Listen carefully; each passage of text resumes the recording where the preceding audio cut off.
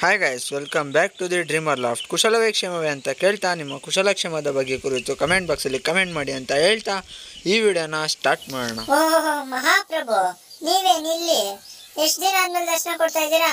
ಹಾಂ ಪೆಸಿಫಿಕ್ ಓಷನಲ್ಲಿ ನೀರು ಖಾಲಿಯಾಗಿತ್ತಂತೆ ನಾಲಾಗುದ್ ನೀರು ತೆಗಿಯಕ್ಕೆ ಹೋಗಿದ್ದೆ. ಆ? ಪೆಸಿಫಿಕ್ ಓಷನ್ ಅಲ್ಲಿ ನೀರ್ ಖಾಲಿ. ನೀನು ನೆಲಗುದ್ ನೀರ್ ತೆಗ್ದಿದ್ಯಾ? ಆ? ಆಯ್ತಾ? ಹಾಂ ಏನು? ಅದೇ, ನೀರಿತ್ತ ಅಂದೆ. ಹೆಚ್ಚು ಅಣ್ಣಯ್ಯ ಹೋಗ ಆ ಕಡೆ. ನಾನು ವಿಡಿಯೋ ಮಾಡಬೇಕು. ಗೈಸ್ ಇವತ್ತಿನ ಟಾಪಿಕಲ್ಲಿ ಕುರ್ಜು, ಮಾಯಾ, ರೋಲ್, ಸುಕ್ಕ, ಮಸ್ತಿ, ದಸ್ತಾ ಅನ್ನೋ ಟಾಪಿಕ್ ಬಗ್ಗೆ ಮಾತಾಡೋದು. ಇದು ಹೊಸ್ದಾಗಿ ಸಾಕಿರೋರಿಗೆ ಗೊತ್ತಿರಲ್ಲ ಈ ಲ್ಯಾಂಗ್ವೇಜಿಗೆ ಹೊಸ್ದಾಗಿ ಕೇಳಿರ್ತಾರೆ. ಹಿಂಗಂದರೆ ಏನು ಅನ್ನೋದನ್ನು ಎಕ್ಸ್ಪ್ಲೇನ್ ಮಾಡೋದೇ ಈ ವಿಡಿಯೋ ಗೈಸ್ ಇದು ಪಾರ್ಟ್ ಒನ್ನಲ್ಲಿ ಎಕ್ಸ್ಪ್ಲೇನ್ ಮಾಡಿದ್ದೀನಿ. ಕೆಲವೊಂದು ಪಾರ್ಟ್ ಟು ಇದು. ಪಾರ್ಟ್ ಒನ್ ನೀವೇನಾದರೂ ನೋಡಿಲ್ಲ ಅಂದರೆ ಡಿಸ್ಕ್ರಿಪ್ಷನಲ್ಲಿ ಲಿಂಕ್ ಇದೆ. ಚೆಕ್ ಮಾಡಿ ಗೈಸ್ ಇದು part two watch the video guys ದಸ್ತಾ ಅಂದರೆ ಏನು ಅಂದರೆ ಅಕ್ಕಿನ ರಿಲೀಸ್ ಮಾಡೋದು. ಅಂದರೆ ಈಗ ಇನ್ನೊಂದು ದಸ್ತ ಅಂದರೆ ಅಕ್ಕಿ ಕಳ್ಳಿಗಳೆಲ್ಲ ಉದುರಿಸಿರುತ್ತೆ ಲಾಸ್ಟ್ನೇಗರಿ ಉದುರಿಸಿದಾಗ ಹತ್ತನೇಗರಿ ಉದುರಿಸಿದಾಗ ಅದು ದಸ್ತ ಆಗಿದೆ ಅಕ್ಕಿ ಅಂತೀವಿ. ಅದು ಒಂದು ದಸ್ತಾ. ಇನ್ನೊಂದು ದಸ್ತಾ ಅಂದರೆ ಏನು ಅಂದರೆ ಅಕ್ಕಿನ ದೂರದಿಂದ ಎತ್ಕೊಂಡೋಗಿ ದಸ್ತಾ ಮಾಡೋದು. ಅಂದರೆ ದೂರದಿಂದ ಎತ್ಕೊಂಡೋಗಿ ಬಿಡೋದು. ಅದ್ರ ಟೈಮಿಂಗ್ಸ್ ಏನಾಡುತ್ತೆ, ಅದು ಏನು ಆಟ ಆಡುತ್ತೆ ಅಂತ ನೋಡೋದಕ್ಕೆ ಮನೆಯಿಂದ ಸ್ವಲ್ಪ ದೂರ ಎತ್ಕೊಂಡೋಗಿ ಬಿಡ್ತಾರೆ ಫಾರ್ ಎಕ್ಸಾಂಪಲ್ ಟೂರ್ನಮೆಂಟ್ಗಳಲ್ಲೆಲ್ಲ ಅಬ್ಸರ್ವ್ ಮಾಡ್ಬೋದು. ಅವ್ರ ಮನೆ ಮೇಲಿಂದ ಅಕ್ಕಿ ಎಲ್ಲ ಬಿಡಿಸಲ್ಲ. ಮನೆಯಿಂದ ಒಂದು ಕಿಲೋಮೀಟ್ರ್ ಇಲ್ಲ ಅರ್ಧ ಕಿಲೋಮೀಟ್ರ್ ಆದರೂ ದೂರ ಎತ್ಕೊಂಡೋಗಿ ಅಕ್ಕಿನ ಅಲ್ಲಿ, ಅಲ್ಲಿಂದ ಬಿಡಿ ಅಂತ ಹೇಳ್ತಾರೆ. ಅಲ್ಲಿಂದ ಬಿಡ್ತಾರಲ್ಲ ಅದನ್ನೇ ದಸ್ತಾ ಮಾಡೋದು. ದಸ್ತಾ ಮಾಡೋದು ಅಂದರೆ ಅಕ್ಕಿನ ಬಿಡೋದು. ಇನ್ನೊಂದು ದಸ್ತಾ ಅಂದರೆ ಅದು ಗರಿಗಳೆಲ್ಲ ಉದುರಿಸ್ಕೊಂಡು ಹತ್ತನೇ ಗರಿ ಉದುರಿಸಿ ಅಕ್ಕಿ ದಸ್ತ ದಸ್ತಾ ಆಗಿರೋದು ಏಜ್ಗೆ ಬಂದಿರೋದು. ಇದು ಇನ್ನೊಂದು ದಸ್ತಾ ಅಂದರೆ ಕೈಯಿಂದ ಬಿಸಾಕೋದು ಇದು ರಿಲೀಸ್ ಮಾಡೋದು ಅಕ್ಕಿನ ಬೇರೆ ಕಡೆ ಎತ್ಕೊಂಡೋಗಿ ಇದನ್ನ ಇನ್ನೊಂದು ದಸ್ತ ಅಂತಾರೆ. ಫಾರ್ ಎಕ್ಸಾಂಪಲ್ ನೋಡ್ಬೋದು, ಈ ಅಕ್ಕಿ, ಇದು ನಮ್ಮ ಮನೆ ದಸ್ತ ದಸ್ತಾ ಮಾಡ್ತಾ ಇದ್ದೀನಿ. ದಸ್ತಾ ಅಂದರೆ ನೋಡ್ಬೋದು ಈ ಥರ ಅಕ್ಕಿ ಬಿಡೋದು. ತಿರ್ಗಿ ಆರು ಬಂದು ಛತ್ರಿ ಮೇಲೆ ಕುತ್ಕೊಳ್ಳುತ್ತೆ. ಅಬ್ಸರ್ವ್ ಮಾಡ್ಬೋದು.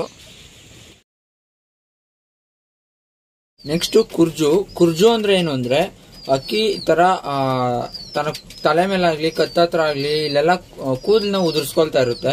ಕೂದಲು ಅಂದ್ರೆ ಅದೇ ಪುಕ್ಕ ನೋಡ್ಬೋದು, ಇಲ್ಲಿ ಅಬ್ಸರ್ವ್ ಮಾಡ್ಬೋದು ನಮ್ಮ ಅಕ್ಕಿಗೆ. ಇದೆಲ್ಲ ನಾವು ಕಿತ್ತಾಕಿರೋದಲ್ಲ, ಇಲ್ಲಾಂದ್ರೆ ಏನೋ ಕಾಯಿಲೆ ಅನ್ಕೊಂತಾರೆ ಕೆಲವರು, ಹೊಸಬ್ರು ಹೊಸ್ದಾಗಿ ಸಾಕಿರೋರು ಪರೋಳನ ಏನು ಪುಕ್ಕ ಎಲ್ಲ ಈ ತರ ಉದುರ್ಸ್ಕೋತಾ ಇದೆ, ಇದಕ್ಕೆ ಏನಾದ್ರು ಕಾಯಿಲೆನಾ ಅಂತೆಲ್ಲ ಮೆಡಿಸಿನ್ ಎಲ್ಲ ಮಾಡ್ತಾ ಇರ್ತಾರೆ. ಅದು ಹೊಸಬ್ರು ಗೊತ್ತಿಲ್ಲದೆ ಇರೋರು, ಇದು ಕಾಯಿಲೆ ಆಗಲ್ಲ ಗಾಯ್ಸ್ ಇದು ಅದಕ್ಕೆ ನ್ಯಾಚುರಲ್ ಆಗಿ ಆಗೋದು. ಫಾರ್ ಎಕ್ಸಾಂಪಲ್ ನೋಡ್ಬೋದು ನಮ್ಮ ಅಕ್ಕಿಗೆ ಇಲ್ಲಿ ಪುಕ್ಕಗಳೆಲ್ಲ ಉದುರ್ಸ್ಕೊಂಡು ಹೊಸದಾಗಿ ಟ್ಯೂಬ್ ಎಲ್ಲ ಬರ್ತಾ ಇದೆ. ಈ ಕತ್ತತ್ರ ಎಲ್ಲ ನೋಡ್ಬೋದು.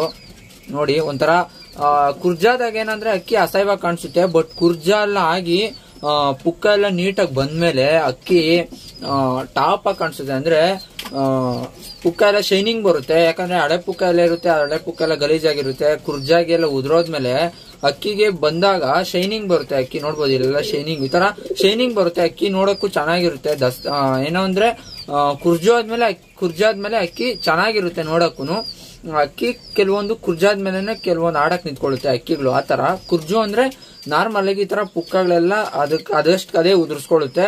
ಉದುರ್ಸ್ಕೊಂಡು ಮತ್ತೆ ಬರುತ್ತೆ. ಇದನ್ನ ಕುರ್ಜು ಅಂತೀವಿ guys guys next roll roll ಅಂದರೆ ಏನು ಅಂದರೆ ಓವರ್ ಬಜ್ಜಿ. ಫಾರ್ ಎಕ್ಸಾಂಪಲ್ ನಮ್ಮ ಅಕ್ಕಿ ನೋಡ್ಕೋಬೋದು.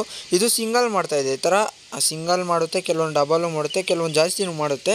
ಇದನ್ನು ಬಾಜಿ ಅಂತೀವಿ. ರೋಲ್ ಅಂದರೆ ಏನು ಅಂದರೆ ರೋಲ್ ಅಂದರೆ ಅಕ್ಕಿ ಆರಕ್ಕೆ ಹೋಗಲ್ಲ. ಆರಕ್ಕೆ ಹೋದ್ರೂ ಬೇರೆ ಪಲ್ಟಿ ನೋಡಿ, ಈ ಥರ ಹೊಡ್ಕೊಂಡು ಹೊಡ್ಕೊಂಡು ಹೊಡ್ಕೊಂಡು ಕೆಳಗೆ ಬಿದ್ದೋಗ್ಬಿಡುತ್ತೆ. ಇಲ್ಲ ಎಲ್ಲೋ ಖಾಲಿ ಹೊಡೆಯೋದು, ಈ ಥರ ಎಲ್ಲ ಮಾಡ್ತಾ ಇರುತ್ತೆ. ಇದನ್ನು ರೋಲ್ ಅಂತೀವಿ. ರೋಲ್ ಅಂದರೆ ಏನು ಅಂದರೆ ನಿಮ್ಗೆ ಗೊತ್ತಿರಲಿ, ಜಾಸ್ತಿ ಅಕ್ಕಿ ಪಲ್ಟಿಂಗ್ ಹೊಡ್ಕೊಂಡು ಹೊಡ್ಕೊಂಡು ಹೊಡ್ಕೊಂಡೇ ಬಿದೋಗ್ಬಿಡುತ್ತೆ. ಈ ಥರ ಸಿಂಗಲ್ ಹೊಡೆದು ಆಟ ಆಡಲ್ಲ, ಅದು ಫುಲ್ ರೋಲ್ ಹೊಡೆಯುತ್ತೆ ಅಂದರೆ ಪಲ್ಟಿ ಹೊಡಿತಾನೆ ಇರುತ್ತೆ. ಇದು ರೋಲು ಗಾಯ್ಸ್ ಇದನ್ನು ರೋಲ್ ಅಂತಾರೆ. ನೆಕ್ಸ್ಟ್ ಮಸ್ತಿ. ಗಾಯ್ಸ್ ನೀವೆಲ್ಲ ಕೇಳಿ ಹೇಳ್ತೀರಾ ಅಕ್ಕಿಗೆ ಮಸ್ತಿಗೆ ಬಂದಿದೆ. ಅಕ್ಕಿ ಮಸ್ತಿಗೆ ಬಂದಮೇಲೆ ಜೊತೆ ಹಾಕು. ಈ ಥರ ಎಲ್ಲ ಹೇಳ್ತಾ ಇರ್ತಾರೆ. ಮಸ್ತಿ ಅಂದರೆ ಏನು ಅಂದರೆ ಈ ಥರ ಅಕ್ಕಿ ನೋಡ್ಬೋದು ಯಾವ ಥರ ಆಡ್ತಾ ಇದೆ ಅಂತ. ಇದನ್ನು ಮಸ್ತಿ ಅಂತಾರೆ ಗೈಸ್ ಮಸ್ತಿ ಅಂದರೆ ಈ ಥರ ರೌಂಡಾಗಿ ತಿರ್ಕೊಂಡು ಸೌಂಡ್ ಮಾಡ್ತಾ ಇರುತ್ತೆ. ಇದನ್ನು ಮಸ್ತಿ ಅಂತಾರೆ ಗೈಸ್ ಮಸ್ತಿ ಅಂದರೆ ಏನು ಅಂದರೆ ಆ್ಯಕ್ಚುಲಾಗಿ ಅಕ್ಕಿ ಈಟ್ಗೆ ಬಂದಿರೋದು ಆಲ್ಮೋಸ್ಟ್ ಆಲ್ ಎಲ್ಲ ಅಕ್ಕಿಗಳು ಮಸ್ತಿಗೆ ಬರೋದು ದಸ್ತ ಆದಮೇಲೆ ದಸ್ತಾ ಹಾಕಿನ ಮುಂಚೆನೇ ಕೆಲವೊಂದು ಮಸ್ತಿಗೆ ಬರ್ತವೆ. ಬಟ್ ಆಗ ಮಸ್ತಿಗೆ ಬಂದಿದೆ ಅಂತ ನಾವು ಜೊತೆ ಹಾಕ್ಬಿಟ್ರೆ ಅವು ಮರಿ ಮಾಡಲ್ಲ ಗೈಸ್ ಅಂದರೆ ಮೊಟ್ಟೆ ಇಡುತ್ತೆ. ಇಟ್ರೂ ಅದರೊಳಗೆ ಏನು ಇಲ್ಲದೆ ಇರೋದು ಈ ಥರ ಆಗಿರುತ್ತೆ. ಇಲ್ಲಾಂದರೆ ಮೊಟ್ಟೆ ಲೇಟಾಗಿಡೋದು ಲೇಟ್ ಅಂದರೆ ದಸ್ತ ಆದಮೇಲೆ ಇಡುತ್ತೆ. ನೀವು ದಸ್ತಾಗಿಂತ ಮುಂಚೆ ಮಸ್, ಮಸ್ತಿ ಇದೆ ಅಂತ ಜೊತೆ ಹಾಕಿರ್ತೀರ.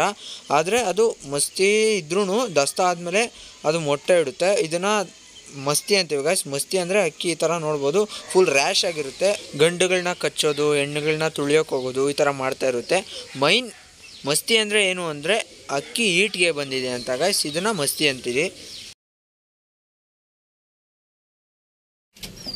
ಗಾಯ್ಸ್ ನೆಕ್ಸ್ಟ್ ಸುಕ್ಕ.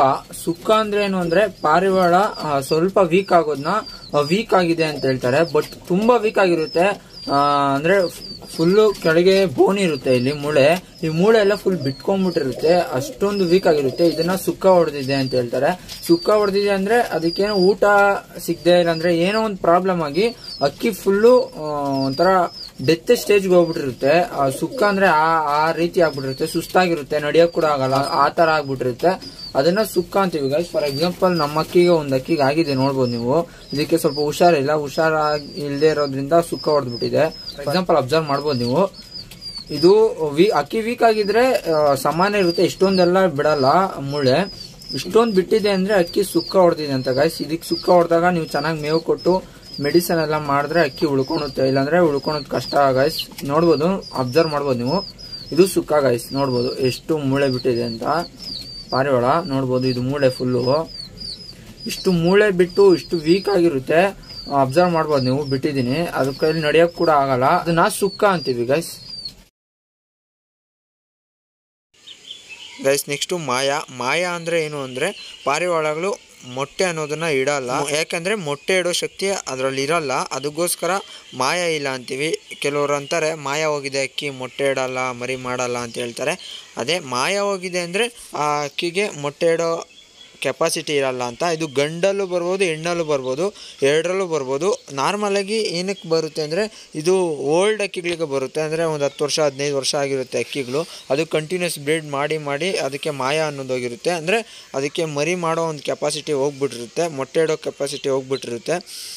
ಇದನ್ನು ಮಾಯ ಹೋಗಿದೆ ಅಂತ ಹೇಳ್ತೀವಿ ಗಾಯ್ಸ್ ಮಾಯ ಹೋಗಿರೋ ಅಕ್ಕಿಗಳು ಮೊಟ್ಟೆ ಇಡಲ್ಲ ಗಾಯ್ಸ್ ಗೈಸ್ ಇಷ್ಟು ವಿಡಿಯೋ ಲ್ಯಾಂಗ್ವೇಜ್ ಆಫ್ ಶೋಕ್ದಾರ್ ಪಾರ್ಟ್ ಟು ನೀವೇನಾದರೂ ಪಾರ್ಟ್ ಒನ್ ನೋಡಿಲ್ಲ ಅಂದರೆ ಡಿಸ್ಕ್ರಿಪ್ಷನಲ್ಲಿ ಲಿಂಕ್ ಇದೆ, ನೀವು ಚೆಕ್ ಮಾಡ್ಕೊಳ್ಳಿ. ವಿಡಿಯೋ ಏನಾದರೂ ಇಷ್ಟ ಆಗಿದ್ರೆ ಲೈಕ್ ಮಾಡಿ, ಬೇರೆಯವ್ರಿಗೆ ತಿಳಿಸೋಕ್ಕೆ ಶೇರ್ ಮಾಡಿ, ನಮ್ಮ ಚಾನಲ್ನ ಸಬ್ಸ್ಕ್ರೈಬ್ ಮಾಡಿ.